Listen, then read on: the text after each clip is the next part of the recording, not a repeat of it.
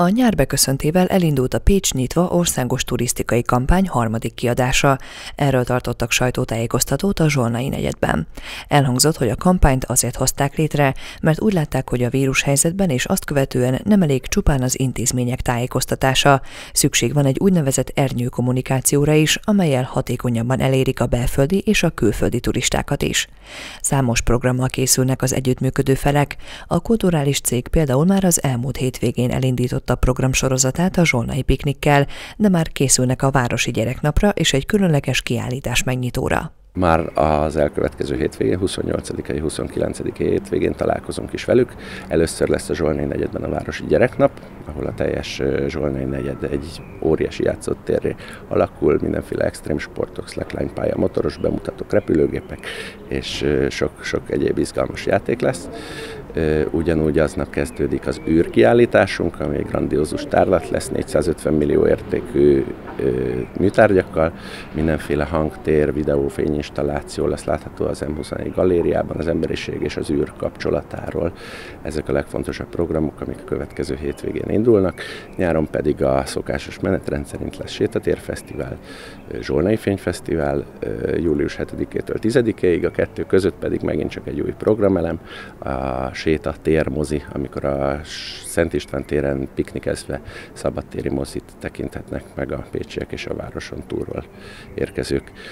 Új programsorozatot indítunk a belvárosban is, a Hild Garden nevű programsorozatunkat, ahol június-júliusban tekinthetnek meg kis koncerteket a hangulatos Hild udvarban, és ezek a programok egészen szeptemberig húzódnak.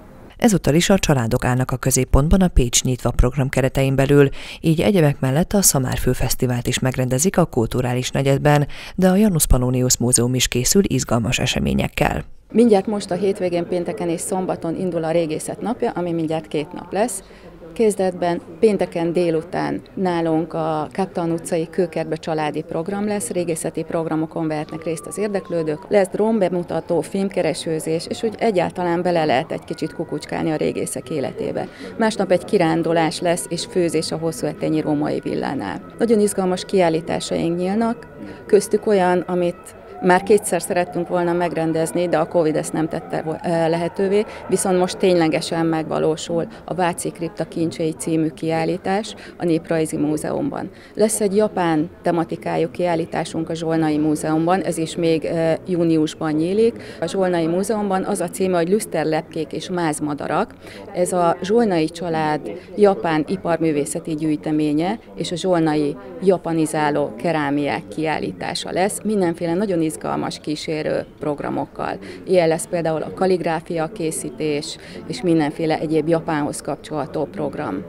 Elérkeztünk a múzeumok éjszakájához, ami június 25-én lesz, ismét 10 helyszínen rengeteg programot kínálunk, összművészeti értelemben, tehát irodalom, zene, kiállítás, előadások, szubjektív tárlatvezetések, mindenféle érdekes program lesz.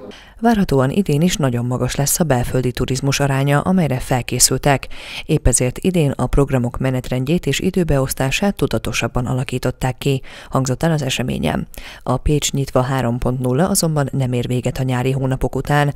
Szeptemberben jön a Pécsi Napok és a Zeneszüret Fesztivál is, többek között egy híres argentin opera énekes sztár fellépésével. És ha már Argentína, a nagy sikerre való tekintettel idén szeptemberben két naposra bővül a Pécsi tangó ünnep. A tavalyi kampányhoz egyébként több mint száz partner csatlakozott, az idei évben pedig még továbbra is várják a jelentkezőket. Fejlesztésekben sem lesz hiány. Kiemelték, hogy az Ókeresztény Mauzóleumban zajló komplex felújítást követően a Világörökségi Intézmény júliusban már várja a látogatókat, de a mecsek turisztikai lehetőségeit is hangsúlyozni fogják. A gasztronómia is nagy hangsúlyt kap idén-nyáron. Az új vásárcsarnok nyitása, a Pécsi szelet felvezetése, Pécs díjnyertes borai is komoly szerepet kapnak majd, de sörtérkép készül és limitált kiadású sört is terveznek.